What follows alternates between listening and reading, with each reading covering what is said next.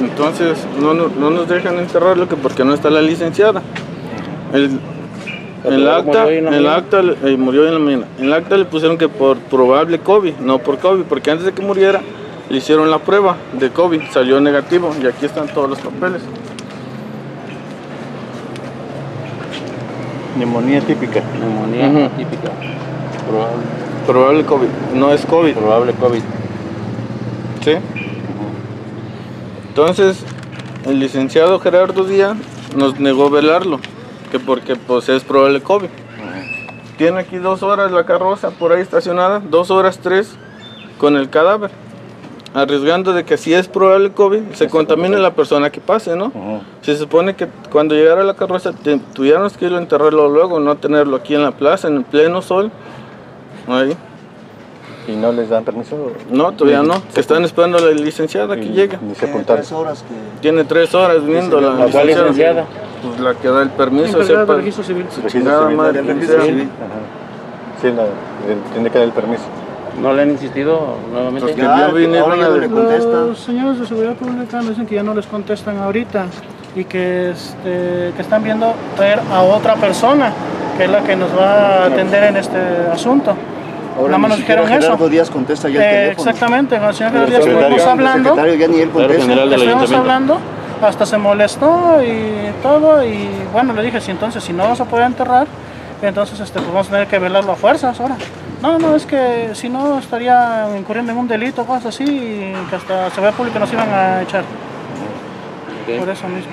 Entonces tienen ya tres horas aquí, no los atienden. Tres horas aquí, esperando que...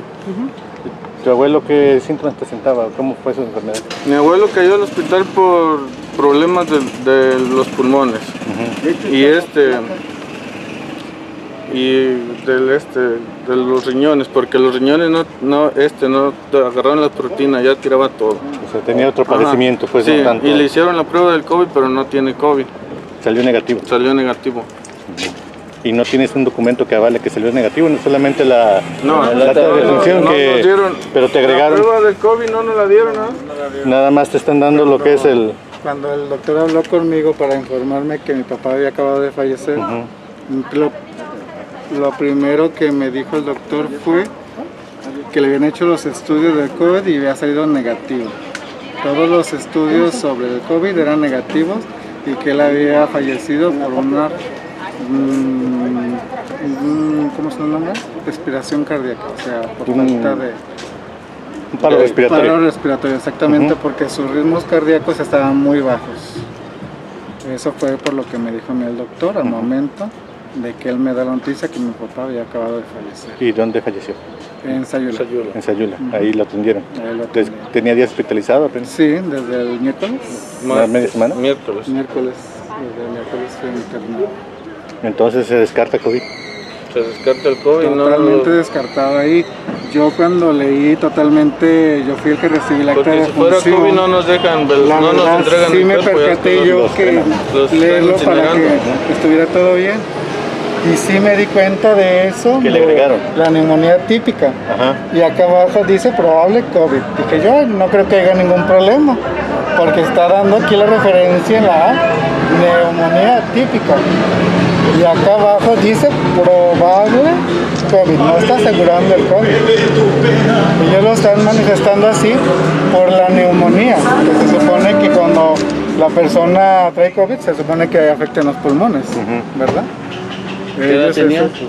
Ahí va a cumplir 85 años. 85. Entonces, ¿ahora qué van a hacer? ¿Te van a esperar? Tenemos que esperarnos. Que nos den, que den la pues, orden para abrir el panteón. No nos están dejando velarlo por No le- salubridad y resulta que no están no cumplidos con la las normas. Así es. Y no, no le dieron la opción de cre- la cremación. No, no, No, pues por, por eso No, no, nos están entregando el nos cuerpo. entregaron Sí. el cuerpo porque, Porque no es COVID. Sí, Ajá. porque en Sayula claramente el tiempo que estuve yo ahí a las personas que murieron por COVID no las entregaban, No. iban directamente a cremación. Por seguridad, ¿no? De todos. Exactamente. Entonces a mí me están entregando el cuerpo de mi, ca- de mi padre porque no era enfermo de COVID. Pues bueno, vamos a esperar a ver si llega ya la persona para ver qué respuesta les da.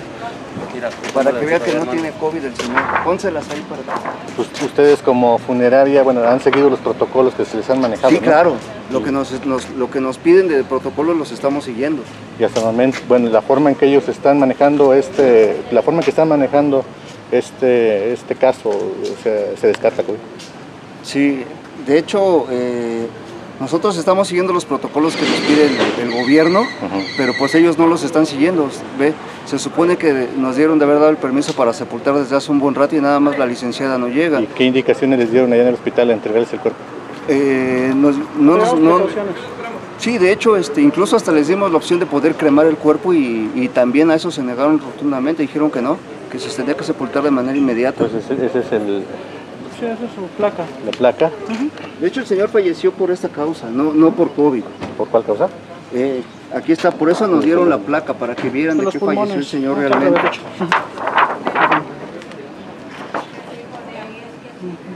Causa ya de la neumonía.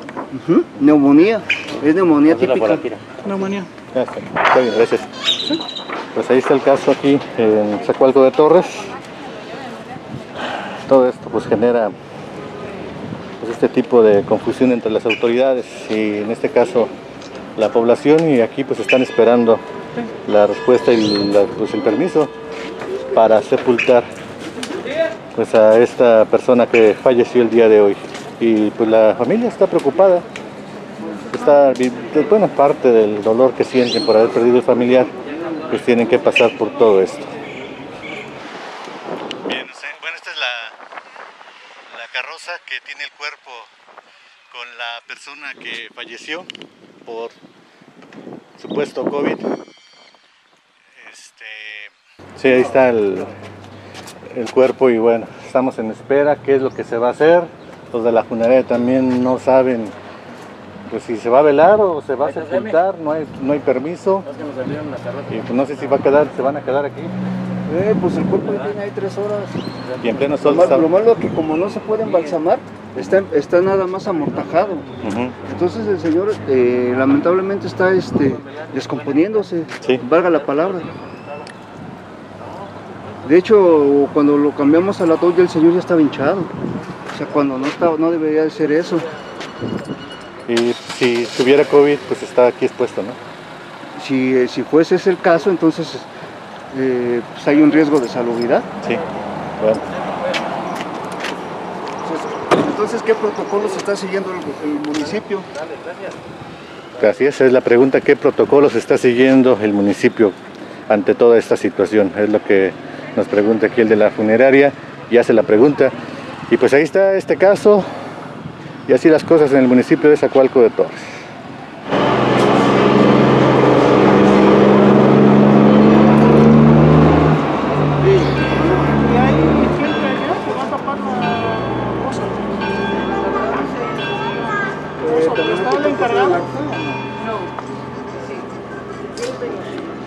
Hacer? Ya este, van a hacer todo el trámite y ya este, vamos a poder ir a enterrar. Te vas a.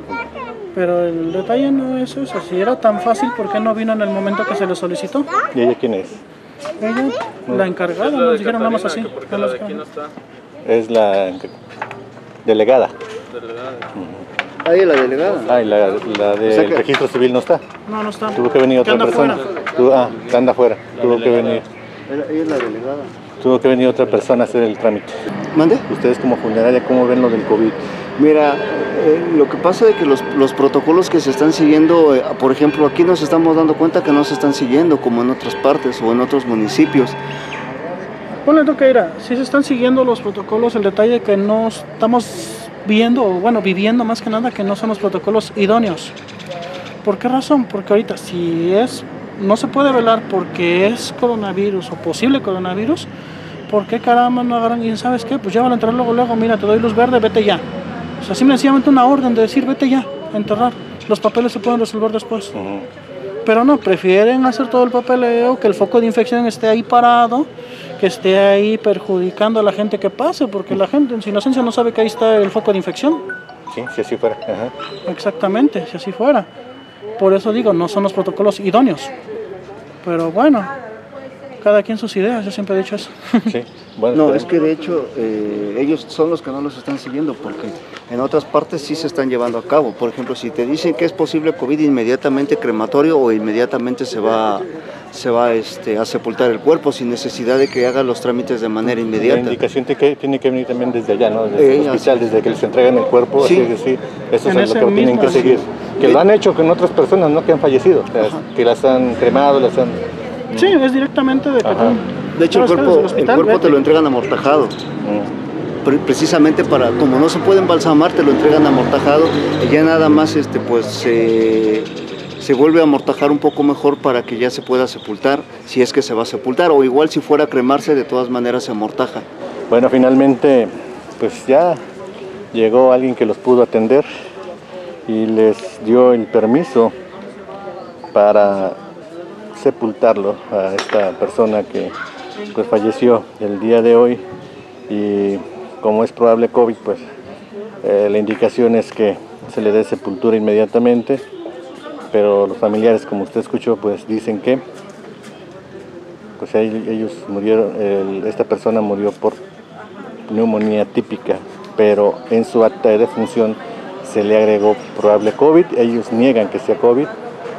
El cuerpo de esta persona, una persona de la tercera edad, se encuentra este, sobre la carroza, esperando la autorización y el trámite y el permiso para poderlo pues, sepultar en el panteón aquí de Zacualco de Torres.